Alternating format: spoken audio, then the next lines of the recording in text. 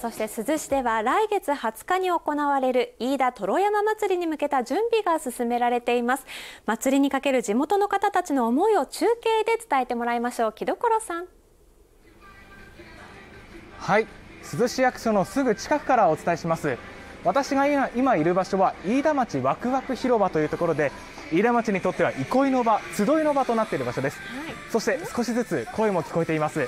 い、来月行われる飯田灯山祭りなんですがそのお祭りで使われるこの踊りの練習がただいま行われているということで地域の小学生、子どもたちが集まって今、一生懸命練習をしているということです。で少しずつやっぱり子どもたちのこの力強い踊りとか、そういうところから活気が戻ってきたな、明るさが戻ってきたなというふうにも感じられます。そしてですねあの1週間が経ちまして私、今日も珠洲市の方にいろいろお話を伺ったんですがやっぱり少しずつ日常が戻ってきたなというふうなお話がたくさん聞けましたそして、えー、飯田燈山祭りなんですがその象徴といえるものそちらが、えー、この建物の中にあるということで今回は特別にその中を見せていただきました、はい、それがこちらになります。山と呼ばれる引山の上に乗せる燈山人形です。高さはおよそ6メートルあるということです。そしてこの人形を引山の上に乗せると高さはなんと16メートルになるということですでこのト山人形なんですが私と比べてみてもやっぱりその大きさというのが分かりますよね。そ、ね、してですね今回この人形なんですがテーマがあります、はい、そのテーマが火事場のバカ力ということで、コロナや災害に負けないという思いが込められているということですそして3年ぶりに行われるト山祭りなのですが今日は、えーと、飯田町の祭礼委員会の副委員長の助則さんにお話を伺うことができました。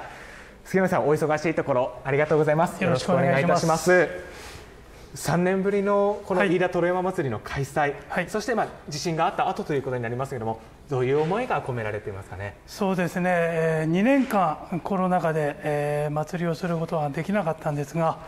えー、昭和の時代からもう飯田町民にとってこの虎山祭りというのはもう1年で一番の大きな楽しみの行事の一つであります。それが2年間もできなかったというのはですね本当にみんなあ辛い思いをしてまいりました。で年明けから今年こそはという思いで祭礼委員会といたしましても感染対策等いろんな協議を重ねて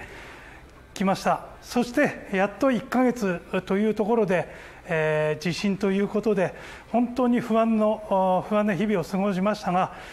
町民の熱い思いを持ってなんとか祭り無事できるようにこれからまだまだ盛り上げていきたいと考えております。月並さんありがとうございます。あの少しずつ子どもの声も聞こえてきて活気も戻ってきました。1週間が経って活気の戻ってきた珠洲市から中継でお伝えしました。